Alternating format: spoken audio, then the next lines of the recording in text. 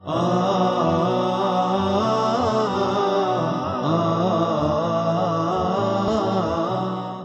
الله الرحمن الرحيم.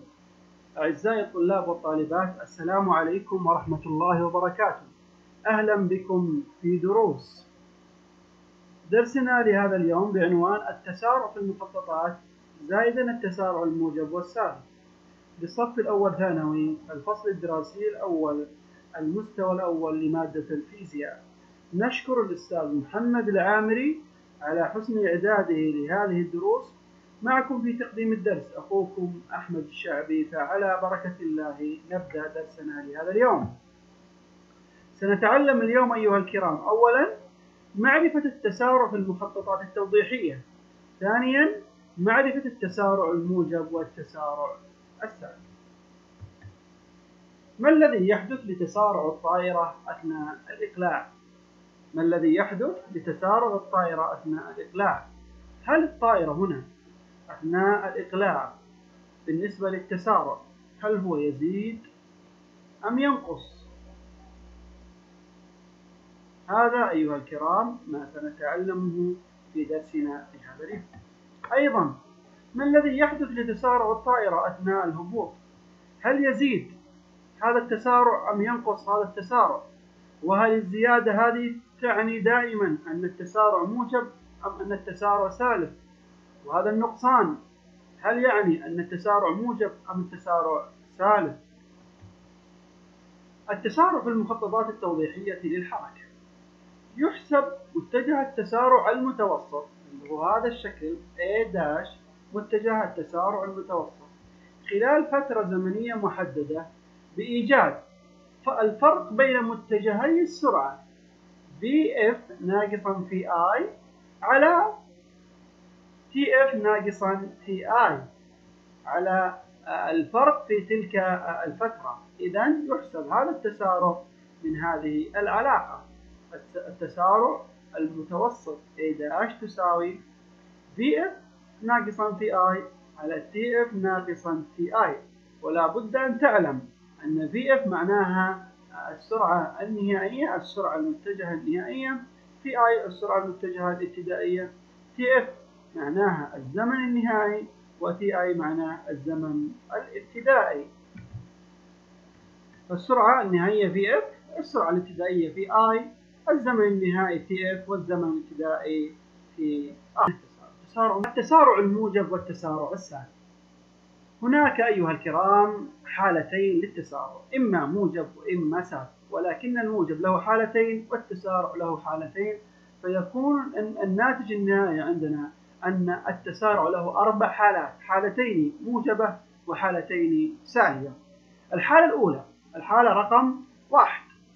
إذا كان اتجاه السرعة مع اتجاه التسارع اتجاه السرعة مع اتجاه التسارع يعني دلتا في مع الاي فإن السرعة تزداد في الاتجاه الموجب وبذلك يكون التسارع وبذلك يكون التسارع. لو أردنا توضيح هذه المسألة بالتفصيل سنقول نفترض أيها الكرام أن هذه سيارة بهذا الشكل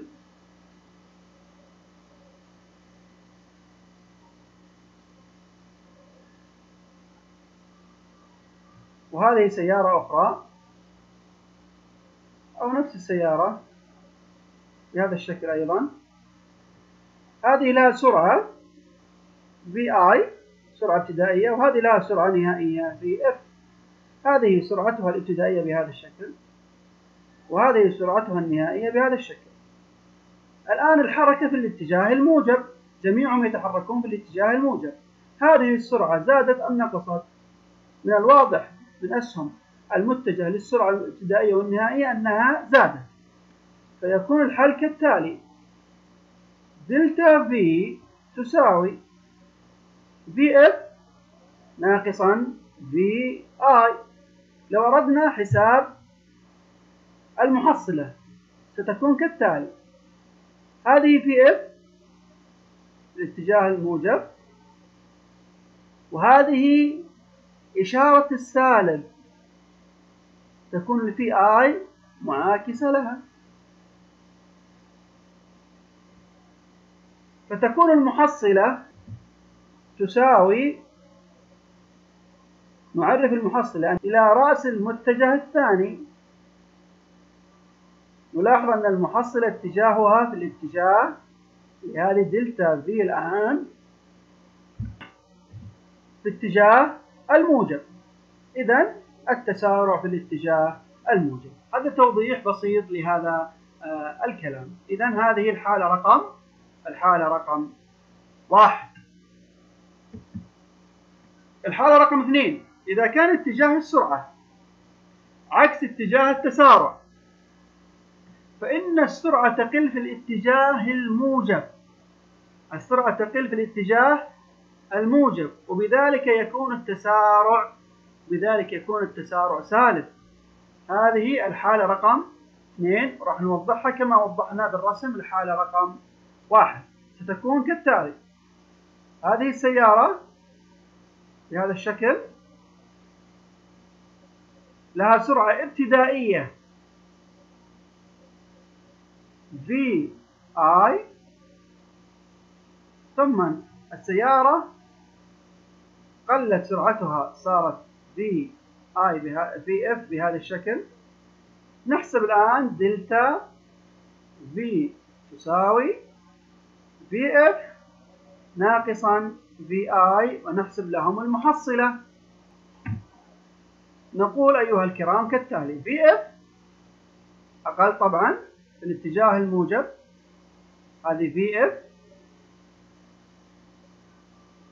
أما ال V i أيها الكرام ستكون بإشارة سالب يعني معاكسة لكنها أكبر. هذه هي الفي اي الآن نريد حساب المحصلة. والمحصلة المحص الآن نريد حساب المحصلة. والمحصلة كما أسلفنا تبدأ من ذيل المتجه الأول إلى رأس المتجه الثاني. من ذيل المتجه الأول إلى رأس المتجه الثاني. هذه هي المحصلة دلتا في إذا أيها الكرام يكون باتجاه السالب فيكون التسارع عندنا سالب. دلتا في في الاتجاه السالب. التغير في السرعة في الاتجاه السالب. فيكون التسارع عندنا أيضا سالب. هذه الحالة رقم اثنين. هذه الحالة رقم اثنين.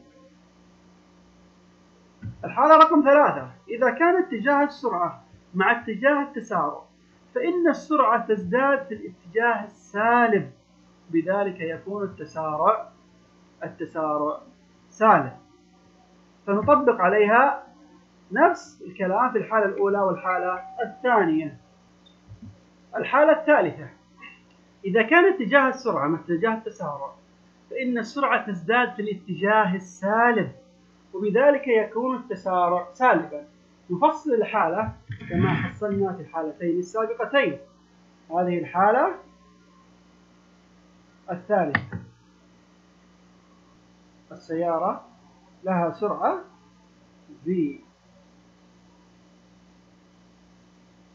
ابتدائية في I ثم نفس السيارة لها سرعة نهائية نسميها V. F. نلاحظ أن السرعة النهائية أسرع من السرعة الابتدائية وأكبر قيمة. لذلك فإن السرعة تزداد في الاتجاه السالب. نريد حساب المحصلة ودلتا في دلتا في تساوي f ناقصا V i نبدأ بالبداية V f باتجاه السالب. هذه V f باتجاه السالب. V f من ثم إشارة السالب. معنى أنها تتناقص يعني تكون في عكس الاتجاه. وهذه هي السرعة الابتدائية. في نريد حساب المحصلة. المحصلة تبدأ من ذيل المتجه الأول إلى الثاني. هذه هي المحصلة وهي دلتا دلتا من ذيل المتجه الأول إلى رأس المتجه الثاني وهذه هي دلتا في ونلاحظ أن المحصل اتجاهها في الاتجاه في الاتجاه السالب إذا التسارع يكون سالب إذا التسارع يكون سالب وهي الحالة رقم ثلاثة تزداد السرعة في الاتجاه السالب وبذلك يكون التسارع سالب. هذه الحالة رقم ثلاثة. الحالة الأخيرة الحالة رقم أربعة. التسارع إذا كان اتجاه السرعة عكس اتجاه التسارع في الاتجاه السالب. فإن السرعة تقل وبذلك يكون التسارع التسارع موجب. إذا الحركة باتجاه السالب والسرعة تقل. الحركة باتجاه السالب والسرعة تقل. نرسم الآن نفس الكلام. سيارة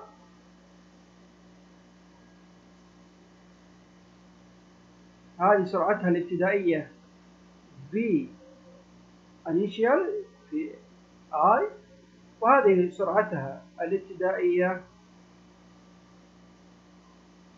v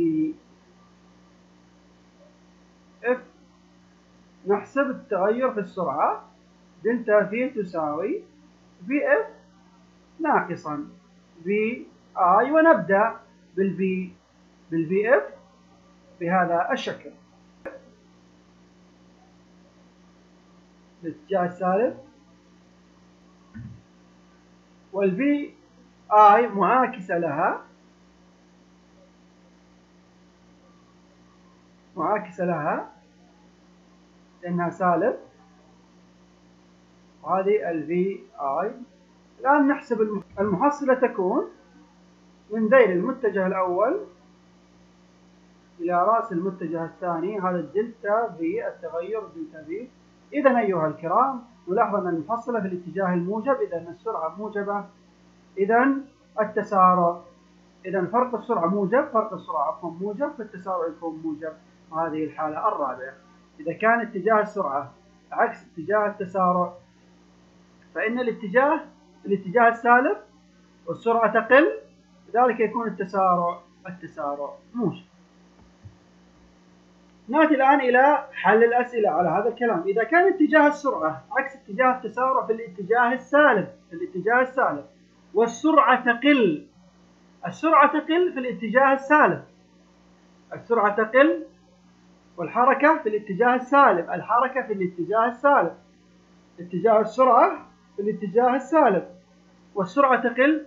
بذلك هذه الحالة رقم الأخيرة اللي الحالة رقم أربعة. بذلك يكون التسارع موجب.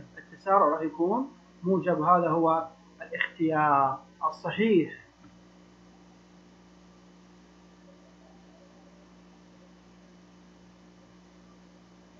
سؤال آخر. إذا كان اتجاه السرعة مع اتجاه التسارع في الاتجاه الموجب فإن السرعة تزيد وبذلك يكون التسارع ماذا؟ إذا كان اتجاه السرعة مع اتجاه التسارع. فماذا يكون التسارع؟ السرعة في اتجاه الموجب والسرعة تزداد. والسرعة تزداد هذه الحالة رقم واحد اللي شرحناها لكم. لذلك يكون التسارع أيضا هنا موجب. التسارع هنا موجب. موجب. ويكون التسارع هنا موجب. هذا هو الاختيار الصحيح. إذا أيها الكرام تعلمنا اليوم التسارع بالمخططات التوضيحية وأنواع التسارع الموجب والسالب. استطعنا نقول في التسارع الموجب أن التسارع A ينقسم إلى قسمين موجب وسالب والموجب له حالتين والسالب له حالتين. حالة الموجب الأولى الحركة باتجاه الموجب والسرعة تزداد. يكون التسارع موجب. الحالة الثانية الحركة باتجاه السالب باتجاه السالب والسرعة تقل. والسرعة تقل. التسارع السالب. الحالة الأولى. الحركة باتجاه السالب والسرعة تزداد.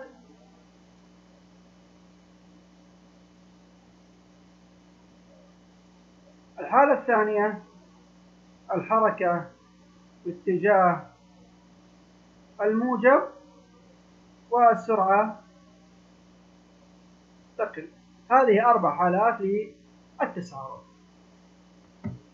مراجع درسي لهذا اليوم الفيزا للصف الأول ثانوي الفصل الدراسي الأول مجموعة العبيكان للاستثمار معجم الفيزا المصور الفيزا للأدباء سلسلة التبسيط وسلسلة البيت التعليمية للتواصل أو المزيد من الدروس. على موقعين أو حسابين في تويتر أو الهاتف المجاني. هذا والله أعلى وأعلم. صلى الله وسلم على نبينا محمد.